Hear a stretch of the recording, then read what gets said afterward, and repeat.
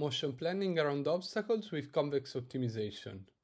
Consider the problem of designing a smooth trajectory through a maze. This is a very challenging task for existing motion planners, such as trajectory optimization or sampling-based methods. Through the solution of a convex optimization problem, our motion planner can efficiently find a curve of minimum length that traverses the maze, or a minimum time trajectory that satisfies given velocity constraints. We name our motion planner GCS, which stands for Graphs of Convex Sets. GCS is fast since it is based on efficient convex optimization.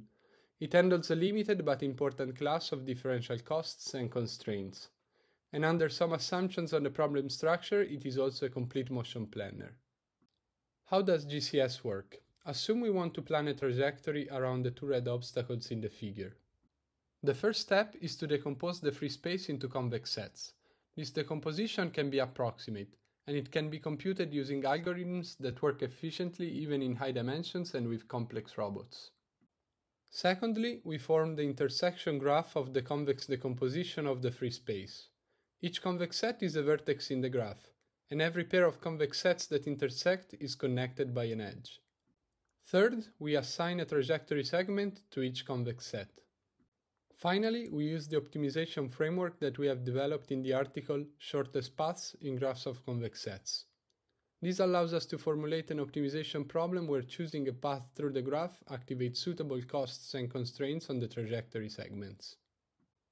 This is natively a mixed integer optimization, but its convex relaxation is typically very tight. So tight that GCS works only in two steps.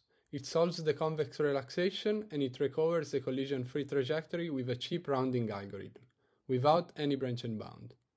This is almost always sufficient to identify a trajectory that is globally optimal within the parameterized class of curves. We use GCS to plan the flight of a drone through randomly generated buildings, and we study the quality of the trajectories generated with our rounding technique. On 95% of the problems, GCS designs a trajectory that is within 1% of the global optimum, and even in the worst case, the optimality gap is smaller than 3%. By comparing the cost of the relaxation and the rounded solution, GCS gives us a conservative estimate of the suboptimality of the trajectories that it designs. On 84% of the instances, GCS certifies that the return solution has an optimality gap smaller than 7%. Using a robot arm with 7 degrees of freedom, we compare GCS with widely used sampling-based planners. The trajectories designed by GCS have a lower cost in all the tasks in this benchmark. GCS is also as fast or even faster than the sampling-based competitors. Unlike sampling-based methods, our approach can efficiently scale to high-dimensional problems. Here we show multiple manipulation tasks with two robot arms with 7 degrees of freedom each.